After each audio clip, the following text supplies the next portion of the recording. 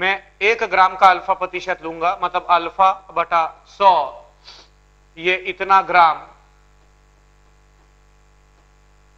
H2O2 है। Alpha बटा सौ ग्राम हमारे पास H2O2 है। तो यहाँ से H2O2 के मोलों की संख्या H2O2 के मोलों की संख्या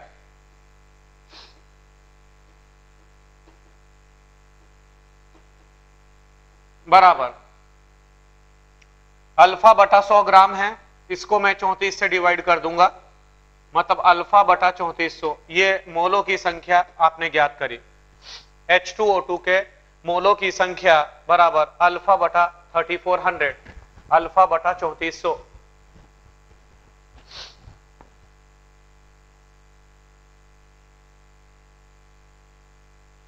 राइट?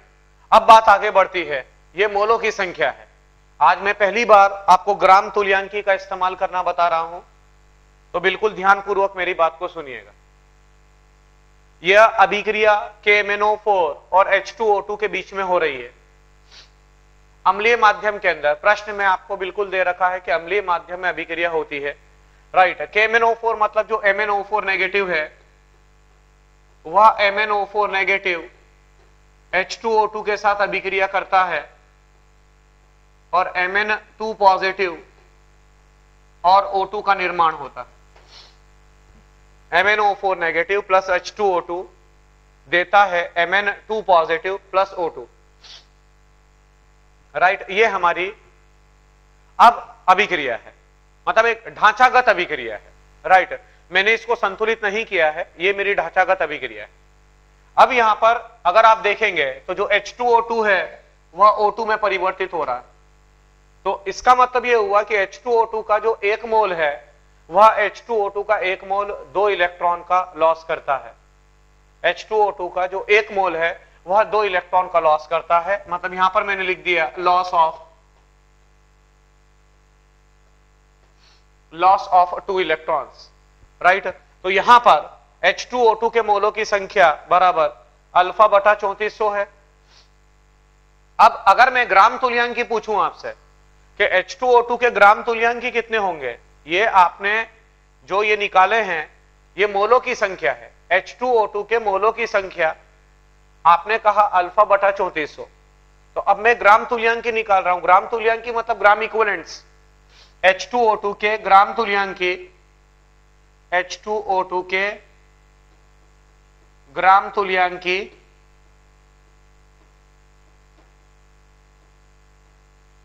के ग्राम तुल्यांकी बराबर। H2O2 के ग्राम तुल्यांकी बराबर। अब H2O2 के हमारे को ग्राम तुल्यांकी ज्ञात करना है। तो H2O2 के ग्राम तुल्यांकी ज्ञात करने के लिए मैं क्या करूँगा? ग्राम तुल्यांकी बराबर होता है मोल इंटू एन गुणा, मोल इंटू एन फैक्टर जो मोल होता है H2O2 के ग्राम तुल्यांकी बराबर, ये मोलों की संख्या है। मोल इंटू एन फैक्टर और H2O2 का ये जो अभिक्रिया है, आपके सामने लिखी गई है।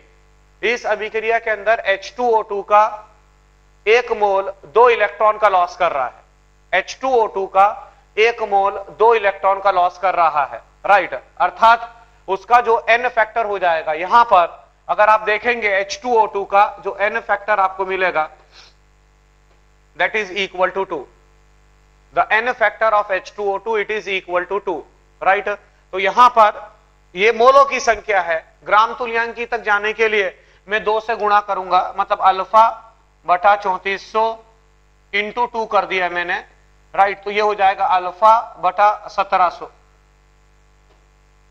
अल्फ़ा बटा सत्रह सौ, ये क्या है? ये हमारे ग्राम तुल्यांकी है। तो अब यहाँ पर ये आपने H2O2 के ग्राम तुल्यांकी ज्ञात करे। H2O2 के जो ग्राम तुल्यांकी है, वो अल्फ़ा बटा सत्रह सौ है। अब यहाँ पर ग्राम तुल्यांकी का क्या कॉन्सेप्ट कहता है?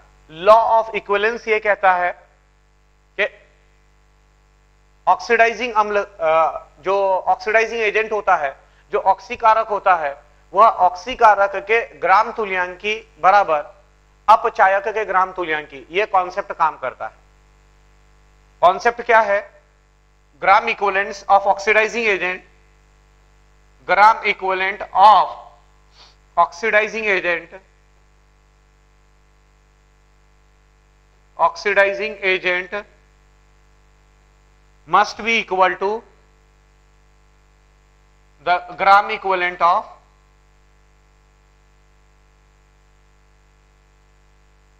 reducing agent right right, इसको हिंदी में अगर आप लिखेंगे तो ये हो जाएगा ग्राम तुल्यांकी ऑक्सी कारक के ऑक्सी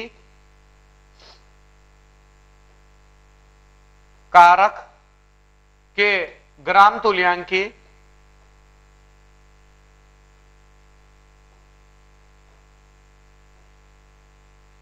बराबर अपचायक के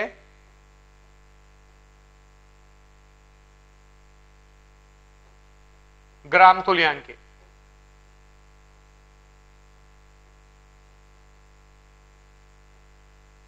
राइट right? तो यहाँ पर हमारा जो ऑक्सीकारक है, ये जो ऑक्सीकारक है हमारा, वो ऑक्सीकारक है केमेनोफो ऑक्सीकारक है हमारा केमेनोफो राइट के एमएनओ के जो ग्राम तुल्यांकी है, वह H2O2 के ग्राम तुल्यांकी के बराबर होंगे। H2O2 के जो ग्राम तुल्यांकी है, वो है अल्फ़ा बटा सत्रह सो। राइट अपचायक। अपचायक मतलब रिड्यूसिंग एजेंट ये है अल्फ़ा बटा सत्रह सो। राइट मतलब ग्राम तुल्यांकी के एमएनओ4 के इतने ही होंगे। के एमएनओ4 के ग्राम तुल्यांकी के एमएनओ4 के ग्राम तुल्यांकी बराबर अल्फ़ा बटा सत्रह राइट ये के एमएनओ फोर के ग्राम तुल्यांकी आपने ज्ञात करे। That is equal to alpha बटा सत्रह सो। राइट अब यहाँ पर आपको प्रश्न में ये दे रखा था, प्रश्न में आपको ये दे रखा था कि अल्फ़ा मिलीलीटर केमेनो फोर की आवश्यकता होती है। ये आपने केमेनो फोर के ग्राम तुल्यांकी पता कर लिए। राइट अल्फ़ा बटा सत्रह सो। तो सारे बच्चे इस बात को ध्यान में रखिएगा कि ग्राम तुल्यांकी बराबर होता है नॉर्मलता। जैसे अपन क्या बोलते हैं? नॉर्मेलिटी इज़ इक्वल टू नॉर्मलता कैपिटल एन कैपिटल एन नॉर्मलता बराबर। या डायरेक्ट ग्राम तुल्यांकी का ही फार्मूला बता देता हूँ। ग्राम तुल्यांकी इज़ इक्वल टू ग्राम तुल्यांकी बराबर। नॉर्मलता एन इंटू विलयन का आयतन, विलयन का आयतन,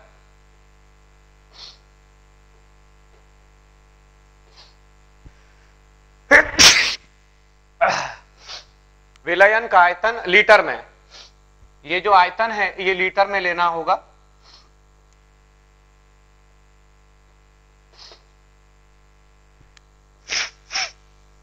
ये बहुत ही इंपॉर्टेंट सूत्र है। सारे बच्चे इसको ध्यान में रखिएगा। ग्राम तुल्यांकी बराबर। ग्राम तुल्यांकी बराबर। ये आपका एक इंपॉर्टेंट